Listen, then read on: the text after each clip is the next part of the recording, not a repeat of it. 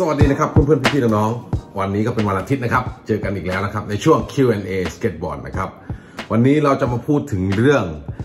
ความอันตรายนะครับ ว่าสเก็ตบอร์ดประเภทไหนเนี่ยอันตรายที่สุดนะครับ เพราะสเก็ตบอร์ดนะต้องยอมรับว่ามันมีหลายประเภทนะครับ ผมแล้วประเภทไหนจะอันตรายที่สุดเราลองไปดูดีกว่านะครับสเก็ตบอร์ดแต่ละประเภทก็มีจะบอกมา มีจุดประสงค์ในการเล่นไม่เหมือนกันนะครับ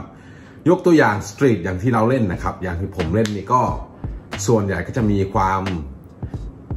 challenge คือการ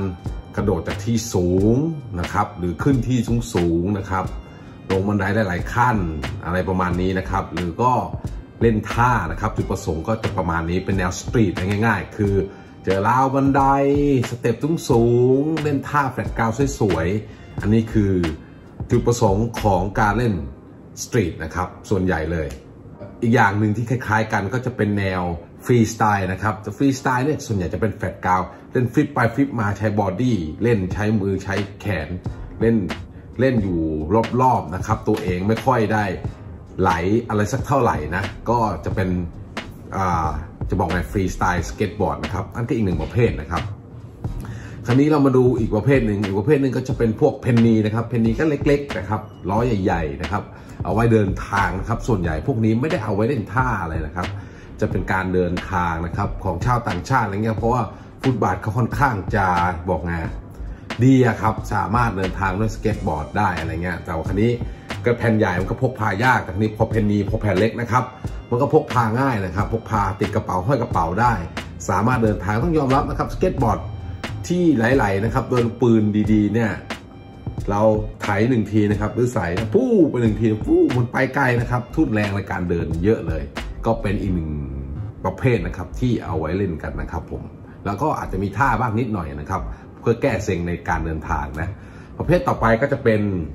longboard นะครับ longboard ครั้งนี้ก็เอาจริง ๆนะ longboard เนี่ย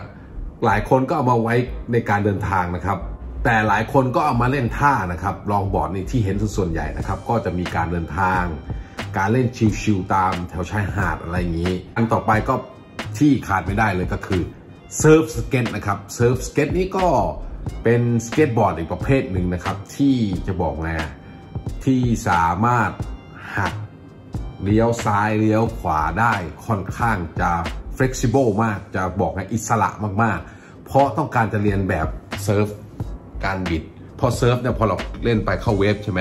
จริงแล้ว surf ก็ไม่ได้จำเป็นต้องบิดเสมอนะแต่ว่าพวกเล่นชำนาญก็จะบิดนะครับจะบิดแบบปุ๊บ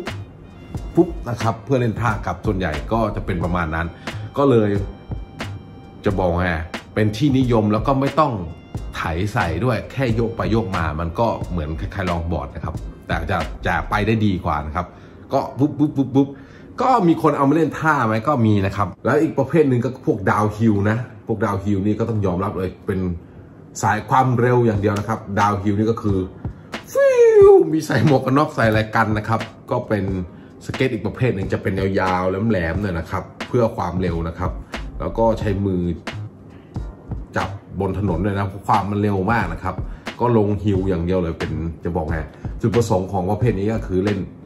downhill ให้เร็วที่สุดนะครับ เพราะอันนี้มีกีฬาแข่งนะครับ ไม่ใช่ว่าไม่ไม่มีแข่งมีแข่งเป็นจะบอกไงกิจลักษณะนะครับ อันนี้โอเคนะครับก็เข้าเรื่องกันเลยดีกว่า ก็เลยเป็นประเด็นของวันนี้นะ เป็นประเด็นระหว่างเซิร์ฟสเก็ตกับสเก็ตบอร์ดนะครับ จริงไหมที่ street skateboard เนี่ยอันตรายกว่าเซิร์ฟสเก็ตนะครับผม ผมขอไม่ยกยอดมาทุกอันแล้วกันนะที่เกิดมาข้างหน้านะขอไม่ยกยอดเพราะมันเยอะแล้วกัน เอาเป็นประเด็น 2 อันนี้แล้วก็จะบอกไงกำลังเป็นที่นิยมนะครับ จะได้รู้เพื่อนๆพี่ๆน้องๆจะได้ทราบกันว่า เฮ้ยมันอันตรายจริงไหมหรือไม่อันตรายจริงไหมนะครับโอเคเดี๋ยวเราไปดูกันต่อเลยครับจริงหรือไม่ที่ street skate เนี่ยอันตรายกว่าเซิร์ฟสเก็ตนะครับ อันนี้ผมขอบอกก่อนเลยว่า ไม่จริงเสมอไปนะครับผมมันอยู่ที่คนเล่นนะครับผมและวิธีเล่นนะ จะบอกว่า street skate อันตราย ถ้าเกิดคนเล่นไม่อันตรายก็คือไม่อันตรายครับ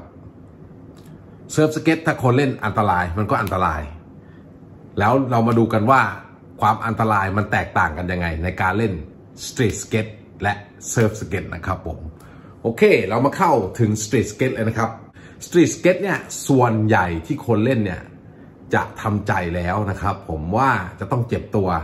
ก็จะมีความระมัดระวังมากขึ้นนะครับ คนเล่น street เนี่ยผมรับประกันเลยส่วนใหญ่จะระมัดระวังกว่าคนเล่นเซิร์ฟนะเราผมไม่ได้ว่าคนเล่นเซิร์ฟไม่ระมัดระวังนะ แต่ว่าส่วนใหญ่จะบอกไงจิตวิทยามันสั่งแล้วว่า เฮ้ย extreme street skate เนี่ยต้องเจ็บก็จะระวังตัวหนึ่งสองนะครับ street skate เนี่ยมันจะไม่ค่อย flex มาก ไม่ค่อย flexible มาก ค่อนข้างจะ control ได้ง่ายกว่า แต่การอันตรายของ street skate นี่ก็คือการเล่นสเต็ปใหญ่ ๆ นะครับผมสเต็ปใหญ่ ๆ หรือว่าเล่นท่าที่อันตราย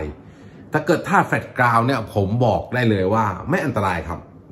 ยืนอยู่กับพื้นแล้วกระโดดเล่นเนี่ยยังไงก็ไม่อันตรายครับ เพราะเรายืนเล่นอยู่กับพื้นกระโดดแค่นี้ไม่อันตรายนะถ้าเกิดเราชำนาญแล้วด้วยนะยิ่งไม่อันตรายเลย ส่วนใหญ่ที่จะอันตรายก็คือการเล่นสเต็ปใหญ่ๆ ยาวๆ นะครับผม ส่วนใหญ่ที่อันตรายเยอะๆ นะครับที่ผมเห็นนะสำหรับ street นะจะเล่นพวก handrail ครับ คือว่าราวเหล็กนะครับ ราวบันไดสูงๆ มันพลาดนะครับ ลงมาว่าเจ็บผมเห็นแล้ว หรือว่ากระโดดสเต็ปโดดสเต็ปนี่ยังโอเคนะ ผมว่าก็ยังอันตรายไม่เท่าการเล่นจะบอกไง handrail นะครับ handrail ยาวๆสูงๆนะครับ ผมว่าอันนั้นอันตรายมากกว่านะครับ โอเค คราวนี้เรา ข้ามไปที่เซิร์ฟเลยนะครับ ข้ามไปที่เซิร์ฟเลยสำหรับ street skate ก็แค่นี้แหละครับ แค่กระโดดสเต็ปนะครับ กระโดดสเต็ปอ๋อเล่น ramp ก็มีไหมมีครับ แต่ ramp เนี่ย ผมว่ามันอันตรายไม่มากเท่าไหร่นะสำหรับตัวผมนะ ผมว่า ramp เนี่ยไม่อันตรายไม่มากเท่าไหร่ ก็มีทำให้คนเจ็บได้มั้งก็มีนะครับ แต่ว่าไม่ได้ไม่ได้เยอะแยะนะครับ เพราะว่ามัน slope อะครับ อย่างที่ผมบอกอะเวลาลงมันไหลมาอย่างนี้นะครับ มันก็ จะบอกไงมันไม่ได้ตกมาตรงๆนี้ คือมันไหลมาอย่างนี้มันก็เลยไม่ไม่น่าจะมีปัญหาเท่าไหร่นะครับผม ก็แค่ 2 อย่างนะครับ กระโดดสเต็ปแล้วก็ handrail สูงๆ หรือว่าสไลด์หรือ grind อะไรก็ได้ที่มาจากสูงๆนะครับ เราลงมาอย่างเงี้ยคืออันตราย แต่ว่าเล่นท่า flat ground เหมือนที่ผมบอกนะครับ ไม่มีปัญหานะครับ โอเคเราไปดูเซิร์ฟสเก็ตเลยดีกว่า ว่าเซิร์ฟสเก็ตเนี่ยอันตรายไหมผมคิดว่า เซิร์ฟสเก็ตเนี่ยคนส่วนใหญ่คิดว่ามันไม่อันตราย มันเป็นจะบอกไง กีฬาที่เล่นปกติ อันนี้ผมขอคัดค้านนิดนึงนะ มันอยู่ที่คนเล่นนะครับผม เรามาเข้ามาฟังกันเลย อันนี้เป็นความคิดส่วนตัวของผมนะ ชาวเซิร์ฟสเก็ตอย่าเพิ่งมาเกลียดผมซะก่อนละก็การเล่นเซิร์ฟสเก็ตเนี่ยต้องยอมรับว่ามีข่าวกันหนาหูเลย บาดเจ็บกันหนักหน่วงเลย เพราะอะไรครับทำไม street skate ถึงไม่มีข่าวอันตราย รุนแรงขนาดนั้น เพราะอะไร ข้อหนึ่งนะครับผมข้อหนึ่งเลยคือเซิร์ฟสเก็ตเนี่ยต้องยอมรับว่ามันดูแล้วมันง่ายนะครับ มันเล่นง่ายกว่า แผ่นใหญ่ขึ้นง่ายโยกไปได้ง่ายกว่า ใครก็คิดว่าเล่นได้นะครับหนึ่งอย่างเลยสองนะครับก็เลยคิดว่าประมาทนะครับสองเลยคือประมาทคือเฮ้ยไม่น่าจะเกิดอุบัติเหตุอะไรได้มากมาย ผมไม่ได้กระโดดนะครับ คนคิดว่าส่วนใหญ่คนคิดว่ากระโดดมาต้อง ต้องอันตรายไม่จริงนะครับ กระโดดแค่กระโดดอยู่ตรงนี้นะ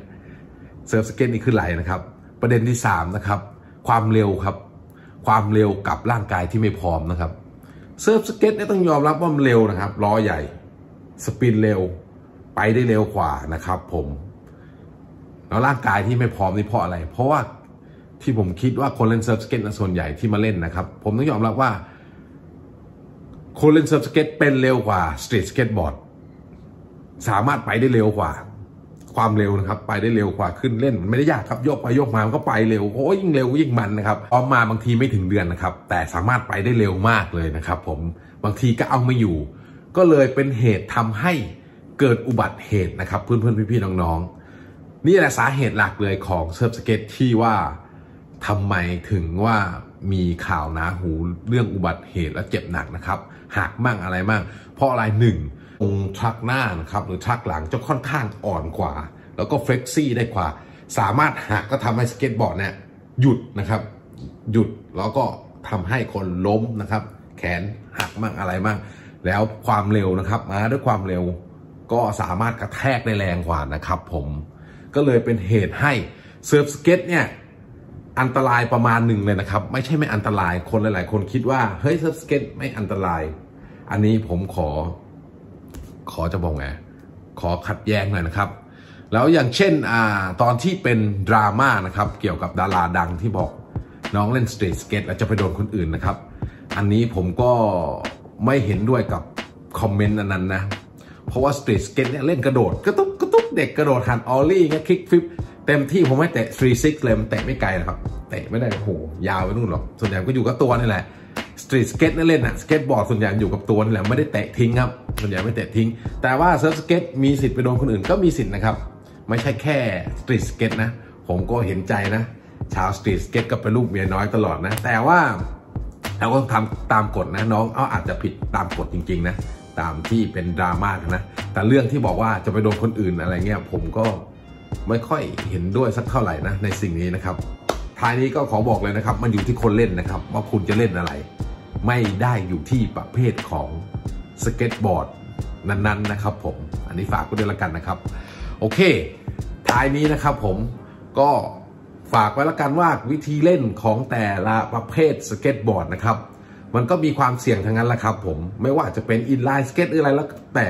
ที่มีล้อที่มันไม่ชัวร์ครับ มันไม่มีสิทธิ์ชัวร์อยู่แล้ว พวกนี้มันมีสิทธิ์อุบัติเหตุได้ทุกประเภทอยู่แล้วนะครับ กีฬาพวก extreme เนี่ยไม่มีอะไรที่แบบคุณบอกเฮ้ยอันเนี้ยไม่อันตราย อันนี้อันตราย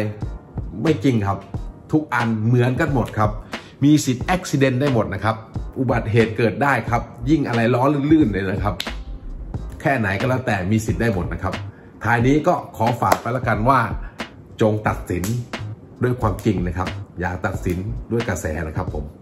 โอเคนะครับ เจอคลิปหน้าครับ สวัสดีครับเอาสตรีทสเก็ตนะครับ เราเป็นลูกเมียน้อยอยู่ตลอดเวลาอยู่แล้ว เพราะหนึ่งอย่างครับ เราดูรุนแรงนะครับ รุนแรงมันมีเสียงดังครับ กระแทกกระทันนะครับ มันก็เลยดูแบบมีคนเล่น street skate เป็นจะบอกไงใช้ความรุนแรงอะไรเงี้ยมีความรุนแรงทำความเสียหาย ก็เลยคนส่วนใหญ่ก็จะไม่ชอบนะครับ เราก็เป็นลูกเมียน้อยกันมาตลอดนะครับผมถ้าเรายังชำนาญไม่พอ ก็ค่อยๆฝึกนะครับ จากไม่ต้องแบบอย่าง street skate เนี่ย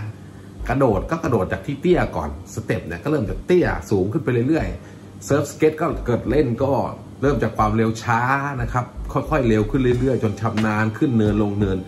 สามารถ control ได้อยากหยุดบอร์ดหยุดได้ดังใจนะครับ อันนี้สำคัญนะครับผมไม่ว่าจะเป็น street skateboard หรือเซิร์ฟสเก็ตถ้าคุณอยากหยุดปั๊บคุณต้องออกจากบอร์ดแล้วหยุดบอร์ดได้เลย ซึ่ง save ตัวคุณแล้วก็คนรอบข้างด้วยนะครับ อันนี้ผมก็ฝากไว้ด้วยแล้วกันนะครับ ไม่ได้อยู่ที่ประเภทสเก็ตบอร์ดนะครับอยู่ที่ตัวคุณเลยนะครับ